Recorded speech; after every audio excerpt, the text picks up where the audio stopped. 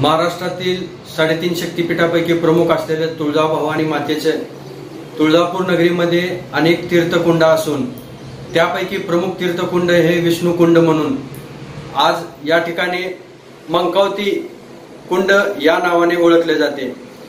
या तीर्थकुंडाची नोंद शासकीय दरबारी नगरपालिकेत सनद असताना देखील भारतीय जनता पार्टीचे जिल्हा उपाध्यक्ष देवानंद रोचकरी यांनी बनावट कागदपत्र तयार करून या ठिकाणी अतिक्रमण करण्याचं काम आणि हे मंगावती कुंड आपल्या नावाने करण्याचे काम करत असल्याच्या आमच्या निदर्शनास आले असताना आम्ही एकतीस मे रोजी मान्य जिल्हाधिकारी यांना या अतिक्रमणाबाबत आणि मंकावती कोंड आपल्या नावावर करण्याच्या बाबत आम्ही निवेदन दिलं आणि आमच्या या निवेदनाची दखल घेऊन जिल्हाधिकारी यांनी तहसीलदार यांच्या अध्यक्षतेखाली एक कमिटी नेमली आणि त्या कमिटीने मागील दोन दिवसापूर्वी मान्य जिल्हाधिकारी यांना अहवाल देताच जिल्हाधिकारी यांनी तात्काळ मांकावची तीर्थकुंडामध्ये येऊन पाहणी केली असताना अनेक नागरिकांचे तेथे अतिक्रमण झाल्याचे त्यांच्या निदर्शनास आले.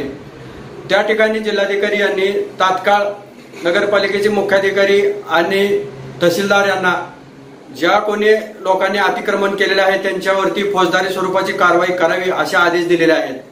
महाराष्ट्र नवनिर्माण सेनेच्या वतीने आमची एकच मागणी आहे की हे पवित्र तीर्थकुंड या तीर्थकुंडाने एकोणीसशे बहात्तरच्या दुष्काळाच्या काळात देखील त्या काळात नाममात्र शुल्क पाच रुपये घेऊन त्या ठिकाणी आंघोळीची सोय मोठ्या प्रमाणात झालेली होती.